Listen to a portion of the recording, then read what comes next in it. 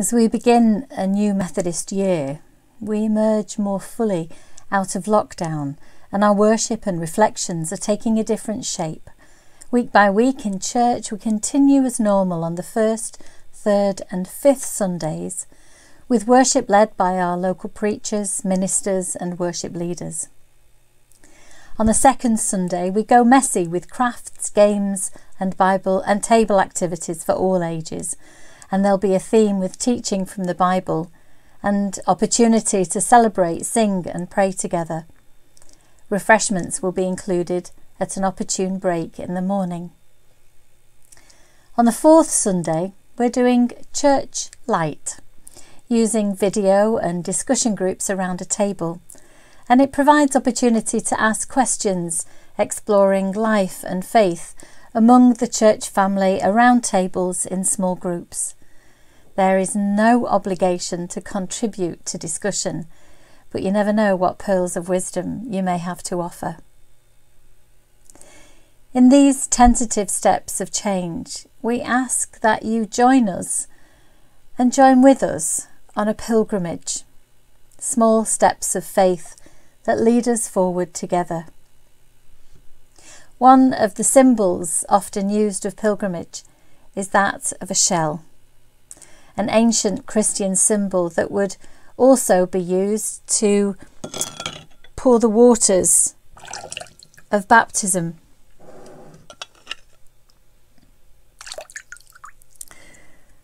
quite a, a practical application.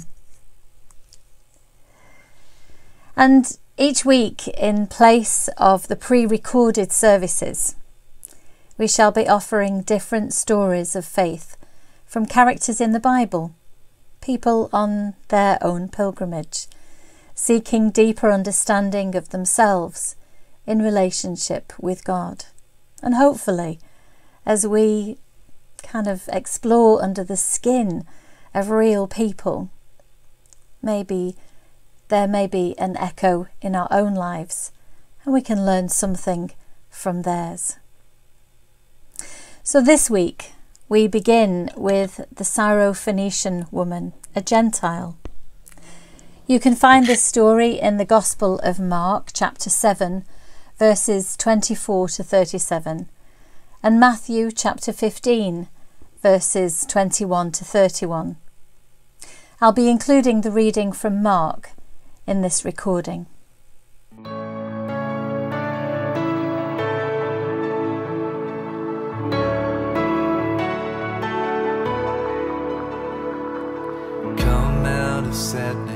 From wherever you've been. Come broken hearted, let rescue begin. Come find your mercy, oh sinner, come kneel.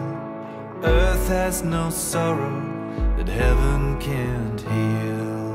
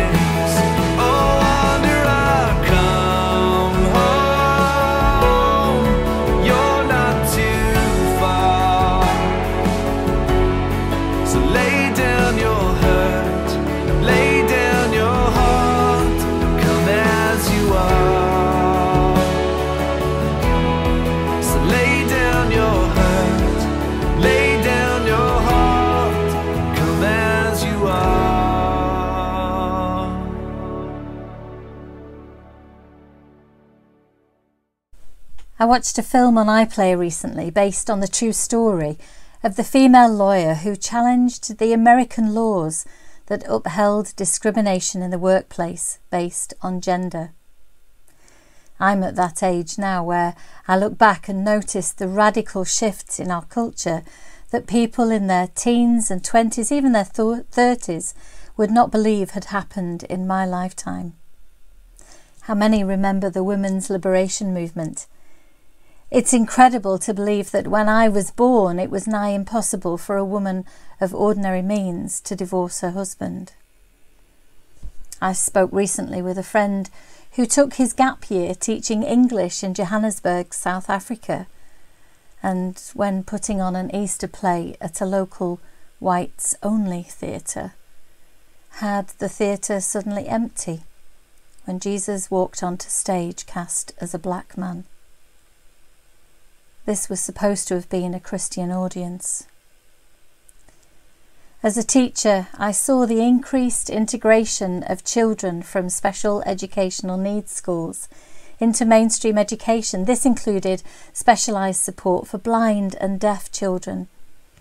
It was amazing too when I taught at a school that had a large contingency of deaf students, and many pupils and staff had learnt sign language in order to create a more inclusive community. In this current era, still with its difficulties, it is often difficult to appreciate the inherent prejudice that was prevalent in the time of Jesus. The tribal divisions that were upheld, the illnesses and disabilities that would exclude you from society and worship, or even make you an untouchable. And we often look back on the disciples through rose tinted spectacles too. But in this story today, we're going to hear how Jesus had quite a job on his hands, challenging the inherent prejudices that were embedded in the culture of those who followed him. Have you ever seen someone walk into a room or even into church and thought, I hope they don't come and sit next to me? We're probably all guilty at some time or another from wanting to keep a distance. The woman in this story was considered by some to be an untouchable, and the instinct of prejudice is a hard one to break.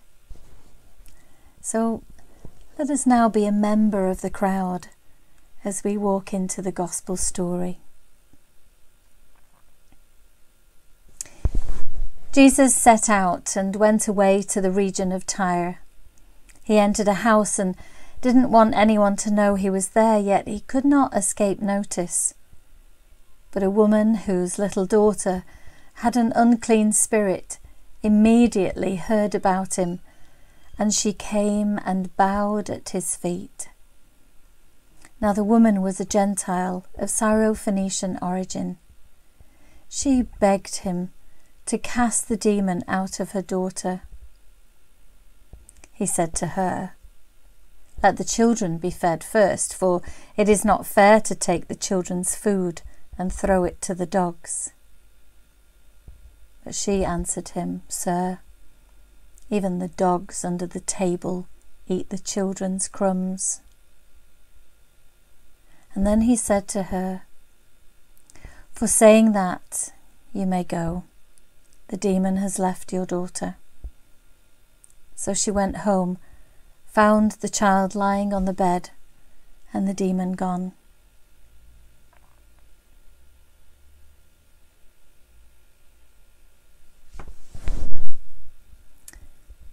I've always struggled with this reading. I couldn't relate to the Jesus I'd come to know in the Gospels with the language that I hear in this story. However, when first coming to prepare for this sermon, I heard it again as if for the first time, comparing it as well with the account in the Gospel of Luke, which gives us a far bigger picture. And I will be referring to some aspects of that reading. Listening to the account of the Syrophoenician woman in the context of that bigger picture that's playing out here in the chapters that go before and after this reading, I see the frustration of Jesus as the Pharisees and the teachers of the law are literally hounding him through the whole gospel narrative they criticize, they judge, they slander and accuse, and they simply do not hear the gospel, the good news of Christ. Earlier in this chapter, Jesus quotes from Isaiah as he just seems to lose patience.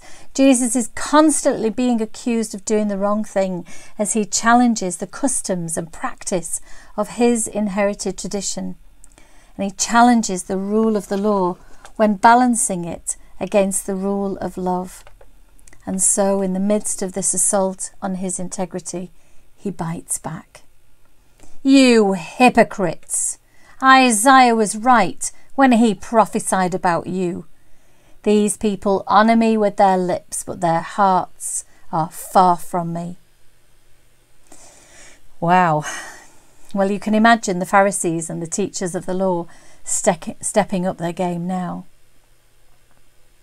and then enter the Syrophoenician woman. A sharp intake of breath. Pharisees and teachers of the law still following, listening, waiting for evidence to accuse him, and the disciples look at one another. Oh no, not her. Make her go away. She is shouting her testimony. Lord, Son of David, have mercy on me. A testimony that Jesus seems not to be hearing from those in his own tradition, the people of Israel, the teachers and Pharisees, those supposed to be wise, given authority to teach the salvation of God. They don't recognize him. But she cries out, Lord, Son of David, have mercy on me. I ask myself the question why does Jesus not go to her? She is really making a nuisance of herself. Lord, Son of David, have mercy on me. She has everyone's attention. And Jesus voices the elephant in the room. You see, not only do the teachers and Pharisees see her as unclean and not worthy of touch, but the disciples also appear bound by their inherent prejudice, and Jesus shames them all. How? He voices the words that are going through the minds of the disciples. We read that they hadn't understood what Jesus was trying to teach them about ritual cleanliness. Can we therefore assume that it is the Jewish disciples that was still treating this woman as unclean. Did Jesus understand that the Jewish disciples were still considering themselves better than the Gentiles, more worthy of salvation? He'd only just recently said to the disciples, Are you still so dull? As they just couldn't get beyond the prejudice associated with their inherited traditions. And so did Jesus use the words that were aching to come from their own hearts in order to shame them. Jesus speaks. I was sent only to the lost sheep of Israel. You can almost hear the disciples muttering, At last, he's sorting her out. We'll be rid of her soon. And the woman persists, Lord, help me. Do you think the disciples had got it yet? I doubt it. Prejudice runs very deep. And Jesus once again gives voice to the prejudice of the hearts of the disciples. It is not right to take the children's bread and toss it to their dogs. Can you hear the disciples? Yeah, get in. And then the punchline, quite literally, punching the wind out of their sails as the woman replies while on her knees, Yes, Lord, but even the dogs eat the crumbs that fall from the Master's table. Master, she called him Master, and previously she had cried and called him Lord, Son of David. In amongst all these teachers and Pharisees and the disciples who are struggling to understand who Jesus is, Jesus says in front of all these people, Woman, you have great faith. It was a bit of a turn up for the books. Can you hear a pin drop? Can you feel the shame of the disciples? They'd made such a fuss about sending this woman away, and yet Jesus had brought her centre stage, not only to minister her to minister to her and her family, but to teach the disciples a lesson. And so I ask you again who is it that you imagine walking into the room and say to yourself, Please don't sit next to me? We all have our prejudice. It's part of our life experience, our cultural inheritance, particularly to fear that which we do not understand, that which is not like us the atrocities against humanity that we are seeing more and more of, the prejudice dividing race, colour, creed, and many more reasons to divide, the conviction that those that are privileged are more deserving than those on the breadline.